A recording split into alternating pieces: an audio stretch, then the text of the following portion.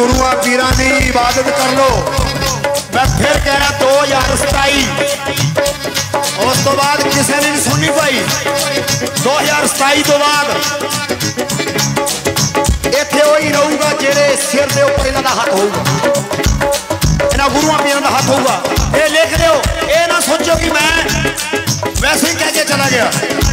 ਇਹ ਸਾਰੀ ਜਗ੍ਹਾ, ਸਾਰੇ ਗੁਰੂ ਦੁਆਰਿਆਂ ਦੇ ਵਿੱਚ ਦੇ ਵੱਜ ਚੁੱਕਿਆ ਹੈ। ਕਿ ਕਾਲ ਦਾ ਕਿਤੇ ਨਾ ਕਿਤੇ ਅੰਤ ਹੋਣ ਵਾਲਾ 2027 ਤੱਕ? ਸਿਮਰਨ ਕਰੋ, ਨਾਮ ਜਪੋ, ਇਹਨਾਂ ਦੇ ਲੜ ਲੱਗ ਜਾਓ। ਜਿਨ ਤੋੜੇ ਹੰਕਾਰ ਰਾਜਿਆਂ ਦੇ ਏਕੇ ਦਾ ਪਾਠ ਪੜਾਇਆ ਏ। ਤੇਰਾ ਪਾਠ ਪੜਾਇਆ ਏ। ਤੇਰਾ ਪਾਠ ਉਹ ਧਰ ਕੇ ਸਤਿਗੁਰੂ ਰੂਹ ਰੱਬ ਪਤਾ ਖੁਦ ਧਰਤੀ ਤੇ ਆਇਆ।